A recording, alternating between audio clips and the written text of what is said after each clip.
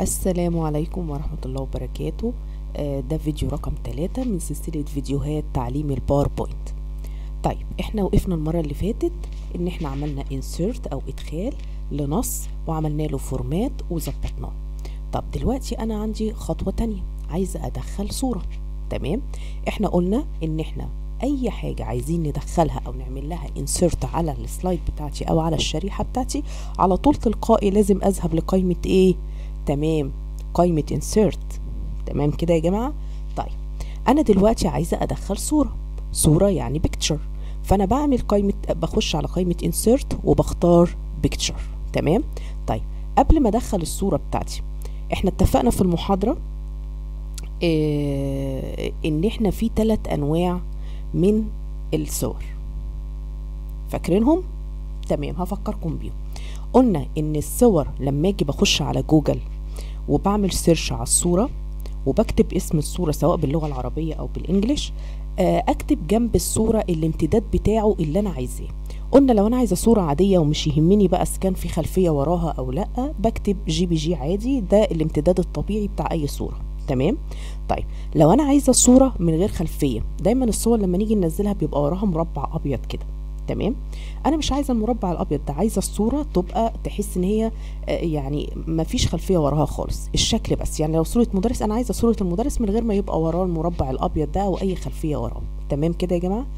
ده الصورة دي بتبقى بامتداد ال PNG وهنشوفها دلوقتي. طيب النوع الثالث من الصور إن أنا عايزة صورة متحركة يبقى فيها animation في صور كده لما تيجي تحطها في الباوربوينت وتعمل show slide أو show للعرض يعني عرض لل slide بتاعك أو لل presentation بتاعك بتلاقي الصورة نفسها بيبقى فيها animation كده. بتتحرك في حاجات بتنور آآ آآ بق مثلا لو شخص يبقى بقه بيتحرك كأنه بيتكلم الحاجات الجميلة دي.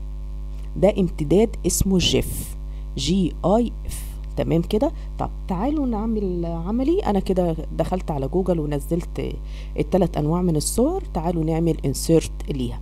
فهخش على insert picture. وطبعا بيقول لي أنت حافظة الصور دي فين؟ طبعا أنا حطاها في مكان أنا عارفاه وعارفة المكان فين وبخش عليه على طول وبختار المكان. تمام؟ طيب أول حاجة اللي هي الصورة العادية اللي بامتداد ال JPG. شايفين الامتداد ده ادي الاسم كل ده الاسم. وادي الامتداد في الآخر أهو اسمه JPG شايفين يا جماعة؟ دي صورة عادية جدا ل teacher أو مدرس. تمام؟ وبتنزل لي بالشكل ده. طيب أنا عايزة أصغر حجمها. الحجم كده كبير قوي غطيت لي ال slide كلها. شايفين الدوائر والدوائر اللي في الزوايا دي؟ الدايرة دي لو أنا وقفت عليها كده لغاية بصوا الكرسول بتاع الماوس بتبقى عاملة إزاي؟ بتبقى سهم ليه رأسين كده. تمام؟ أعمل بقى كليك كده وأشد. بيتحول إلى آه علامة الزائد السوداء دي وأقدر أسحب وأشد وأصغر الحجم وأظبطه زي ما أنا عايزة. تمام؟ طيب أنا مش عايزة الجزء اللي فيه الكتابة من تحت ده. مش عايزاه. أعمل إيه؟ إحنا قلنا أول ما بنقف على أي حاجة تلقائي هو بيروح محولني على قائمة إيه؟ format يعني تنسيق.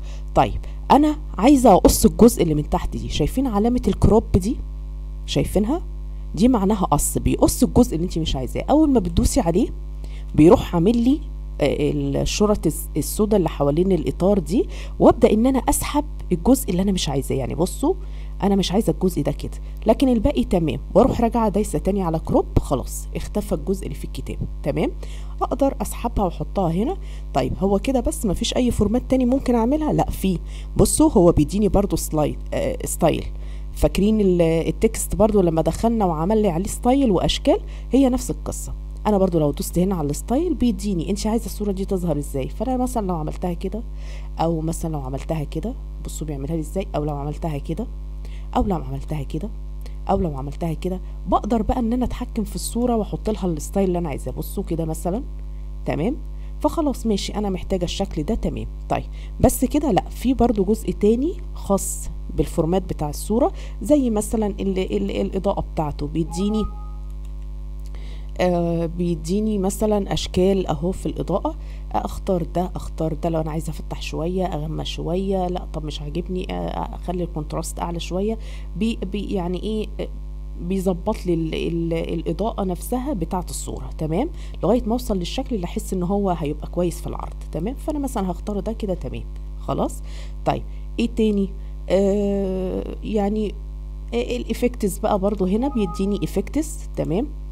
بقف عليه بقف عليه برضو.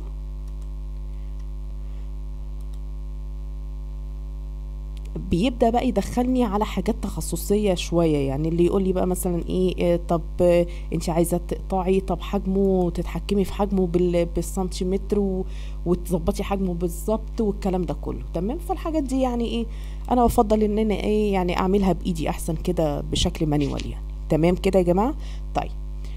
ده أول نوع من الايه من الصور. طيب. تعالوا ندخل بقى صورة آه، مدرس بس تكون PNG فهنخش على قائمة insert و picture وهدخل الصورة اللي أنا منزلاها. بصوا أنا لو وقفت عليها برضو ال teacher واسمه وفي في الآخر PNG أهي لو شايفينها.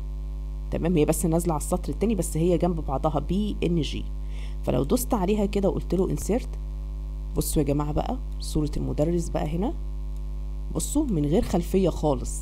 تحس إن هي إيه مندمجة معايا في السلايد. وده بينفعني بقى لما أكون بعمل بقى حاجات للأولاد وعايزاهم يحسوا إن الدنيا كلها مندمجة مع بعضها. فأنا حاطة مدرس مثلا هنا بيشاور فأنا مثلا ممكن أكون إيه أكتب كلمة هنا أو صورة والمدرس بيشاور عليها. فيحس ال- الطالب أو ال- ال- المتعلم اللي معايا اللي أنا بعمله ال presentation إن أنا بعمل له حاجة حقيقية. بوصل له الفكرة بشكل أفضل طبعا. تمام؟ طيب تعالوا نخش نشوف تالت نوع اللي هو insert picture GIF بقى اللي هو الحاجة المتحركة. بصوا الصورة دي امتدادها GIF ودي كمان GIF تمام؟ تعالوا طيب نشوف ال GIF هنا ونقول insert. أهو برضو بصغره وبحطه في المكان اللي أنا عايزاه تمام؟ يعني بصوا أنا هعمل كأن المدرس بيشاور على الكتاب. تمام كده يا جماعة؟ طيب. تقولي لي إيه ما بتتحركش ولا حاجة يا ميس أهي. يعني عادي يعني. أقول لك لأ ال GIF أو ال animation أو الحركات ما بتظهرش في ال- design في في مرحلة التصميم اللي إحنا بنعملها دلوقتي. أمال تظهر إمتى؟ تظهر لما أخش على مرحلة ال show ال- العرض. فأنا لو دخلت دلوقتي على الزرار اللي تحت دوت اللي اسمه slide show لو دوست عليه بصوا بقى أهو ال animation ظهر معايا بصوا الكتاب أهو. لما أجي أعرض بقى على الأولاد هي دي الحركة اللي هتبان.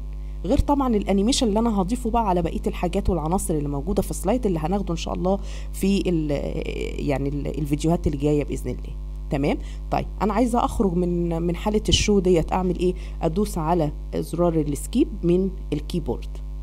تمام؟ أرجع تاني لمرحلة ال design بتاعي. أرجو إن أنا أكون أفدتكم في موضوع ال insert picture واستنوني في باقي الفيديوهات إن شاء الله.